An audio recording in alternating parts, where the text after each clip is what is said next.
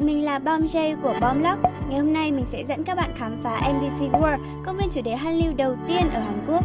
Nếu là fan hâm mộ K-pop và K-drama, bạn chắc chắn phải đến MBC World một lần trong đời nha. Nghe cái tên chắc các bạn cũng đoán ra rồi đúng không? MBC World nằm trong khuôn viên của đài truyền hình MBC một trong những đài truyền hình lớn nhất của Hàn Quốc. Để đến đây thuận tiện và rẻ nhất thì các bạn có thể đi tàu điện ngầm Line số 6 và xuống ở ga Digital Media City, ra cửa số 9 và đi bộ khoảng 7 đến 10 phút là tới nha. Còn nếu đi taxi thì bạn hãy đưa địa chỉ sau cho taxi. 267 Songnam Road, Mabogu, Seoul nha. MC World thì mở cửa từ 10 giờ cho đến 18 giờ nha.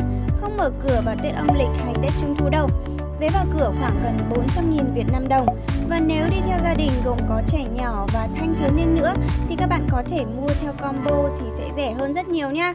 Lưu ý, các bạn chỉ có 90 phút để khám phá MBC World thôi.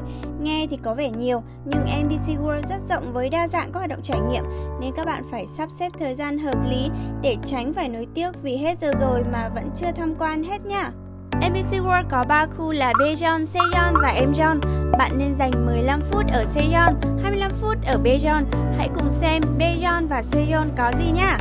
Seyeon là nơi bạn có thể chụp ảnh cùng với những chương trình truyền hình nổi tiếng làm nên tên tuổi của đài truyền hình MBC. Còn Daejeon là nơi bạn có thể tha hồ tự sướng với các thần tượng của mình.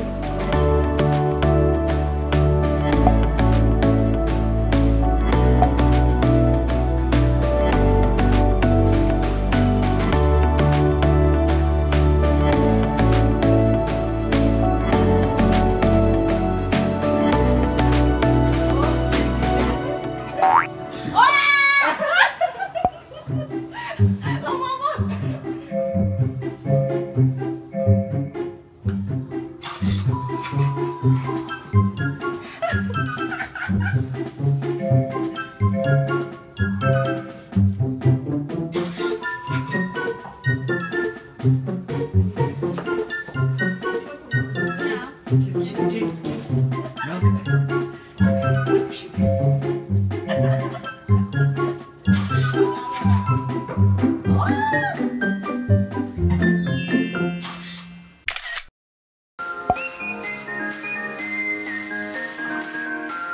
大丈夫かな